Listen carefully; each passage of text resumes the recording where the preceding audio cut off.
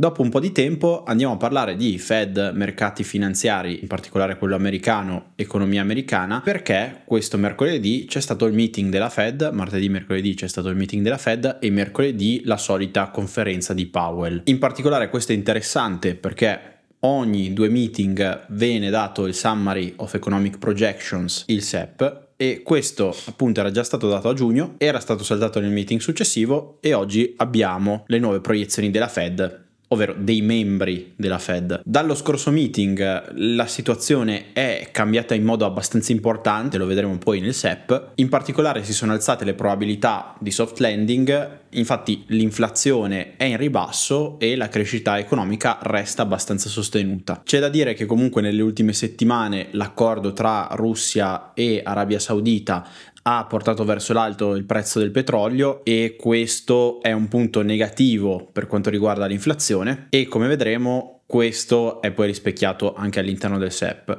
In particolare di questo ha parlato Powell, spiegando come il prezzo del petrolio non sia particolarmente importante per la Fed, visto che è un componente abbastanza volatile dell'inflazione, ma è comunque importante fare delle considerazioni di lungo periodo, perché ovvio se il petrolio rimanesse in alto per tantissimo tempo avrebbe degli impatti a livello economico sulle spese e a livello di inflazione anche su altri beni. Comunque partirei con una premessa sul movimento del mercato nel corso degli ultimi mesi. Lasciate un like per supportare il video, farlo vedere a più persone e iniziamo. Le azioni tecnologiche sono quella parte del mercato, quel settore che ha alimentato il rally nel corso del 2023. Queste sono diventate sempre più costose e adesso il mercato ha iniziato in qualche modo a guardare i multipli in una situazione di tassi che sembrano alti per più tempo. Quindi un eventuale repricing di questo settore avrebbe impatti importanti in quanto è comunque il settore principale dell'S&P 500 e in particolare il settore principale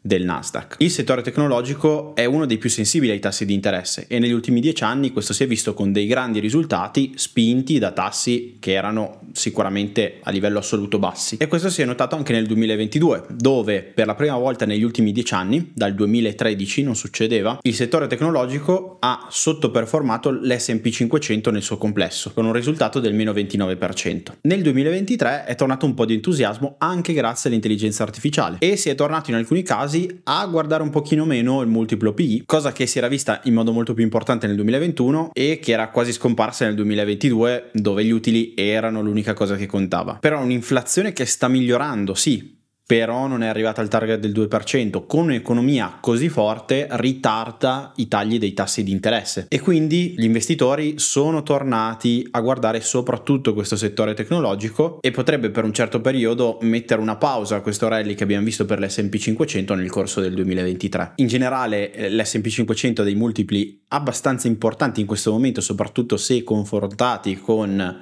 i rendimenti che abbiamo su altre asset class o anche su altri mercati, quindi non dobbiamo focalizzarci solo sull'S&P 500, ci sono anche alternative. Dal punto di vista economico c'è stato anche un certo spostamento del focus da solo inflazione a un focus anche sulla crescita economica, in particolare in una situazione in cui appunto inflazione scende anche leggermente più del previsto, ma crescita economica che è importante. Da un lato i tassi così elevati mettono un pochino a repentaglio questa crescita che stiamo vedendo. Dall'altro la crescita è un pericolo per l'inflazione, quindi diciamo che c'è questo filo sottile che va monitorato nel corso dei prossimi mesi che va dai tassi di inflazione ai tassi di interesse imposti dalla Fed per arrivare eh, alla crescita economica, l'andamento del PIL americano. Ma andiamo al punto focale del video, ossia come si è mossa la Fed. Ovviamente, come era ampiamente previsto, non c'è stato un movimento dei tassi base, però come dicevamo la cosa più importante era vedere le proiezioni. Ricordiamoci che all'interno di questo sommario delle proiezioni ci sono 19 opinioni, ossia ogni membro della Fed dà la sua opinione e tutto questo viene raccolto all'interno di un dot plot e all'interno di una tabella in cui viene mostrato la mediana e in generale la distribuzione di queste opinioni. Noi ci focalizzeremo sulla mediana, ma c'è comunque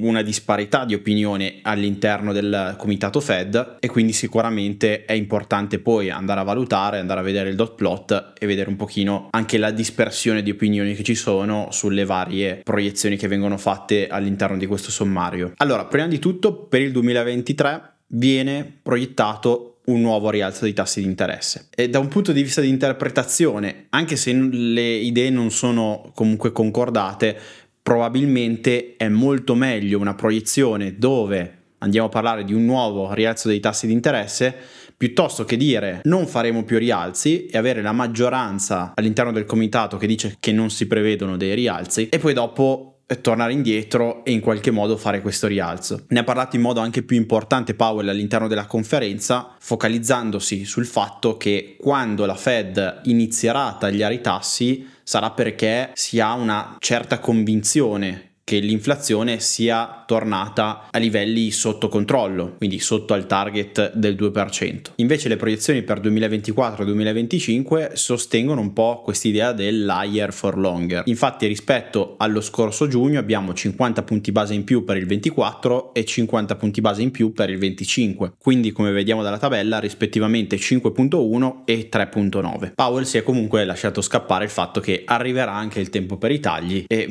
una frase molto generica, nel senso che potrebbe arrivare nel 2024, come si vede dalle proiezioni, ma potrebbe anche essere più avanti, cioè quanto veniva sottolineato più spesso all'interno della conferenza è che la Fed continua a elaborare le informazioni che entrano e prende decisioni, quindi probabilmente le proiezioni che ci saranno fra due meeting saranno diverse da queste. Poi anche se il caro Jerome Powell ci dice che eh, il soft landing non è il base case, in qualche modo eh, è facile interpretare in questo modo le proiezioni che vediamo, perché comunque da un punto di vista di crescita economica le stime sono viste in rialzo per quest'anno e per il prossimo. Dall'altra parte abbiamo una disoccupazione rivista al ribasso e invece i numeri su eh, inflazione, inflazione core, come dicevamo prima, numeri leggermente più elevati per il PCI, probabilmente per via appunto della situazione legata al petrolio e numeri leggermente più bassi per il core PCI, probabilmente per i risultati buoni che abbiamo avuto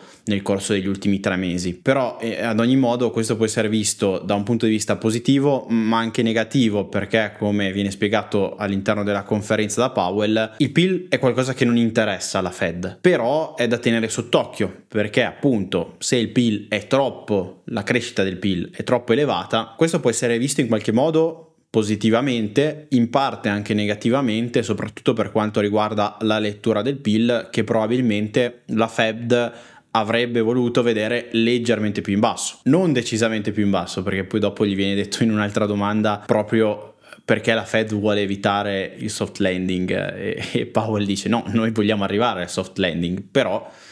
non è il nostro base case e c'è da stare attenti alla crescita economica perché una crescita economica troppo elevata poi può alimentare l'inflazione. Dal punto di vista del mercato del lavoro ci sono eh, dei buoni sviluppi con il gap tra domanda e offerta che è andato leggermente a ridursi, ma la domanda di lavoratori è ancora superiore rispetto all'offerta. L'idea è che comunque questa cosa possa andare in miglioramento nel corso dei prossimi mesi, anche perché c'è sempre da ricordare che c'è un determinato lag tra i movimenti della banca centrale centrale e poi dopo gli effetti sull'economia. Cioè, se oggi la banca centrale alza i tassi di interesse, non sappiamo effettivamente quando questo rialzo dei tassi sarà poi dopo visto effettivamente in termini di cambiamenti economici. Poi dopo qua ci possono essere visioni differenti, ma comunque parliamo di mesi fino a, ad anni di lag. Quindi probabilmente l'idea è che se i tassi rimanessero a questo livello sono abbastanza restrittivi da portare poi questa domanda a pareggiarsi con l'offerta. È interessante poi anche la proiezione sul 2026 perché era il primo Summary of Economic Projections che abbiamo con una proiezione appunto del 2026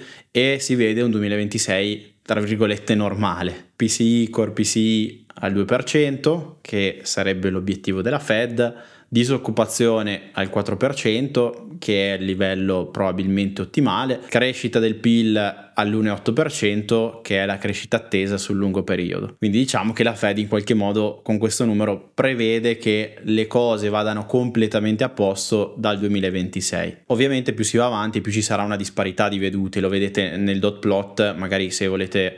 andare a dare un'occhiata, vi lascio il link all'interno della descrizione del video perché semplicemente più andiamo avanti nel tempo e, e, più la cosa si può evolvere in vari modi. Quindi da questo punto di vista è importante continuare a guardare quello che succederà lato inflazione, lato economico. La Fed continua a guardare quanto succede e in qualche modo ha proiettato un nuovo rialzo dei tassi di interesse nel corso dei prossimi mesi, fermo restando però la possibilità che non ci sia nessun taglio, quindi sicuramente saranno importanti le letture da un punto di vista economico di inflazione che avremo nel corso dei prossimi mesi. Fammi sapere la tua nei commenti, lascia un like al video per supportarmi, se sei nuovo sul canale puoi iscriverti cliccando sulla campanellina per non perderti i prossimi video e ti consiglio di andare a vedere quest'altro video alla destra in cui parlo di come investire tra i 20 e i 30 anni. Noi ci vediamo in un prossimo video. Ciao a tutti!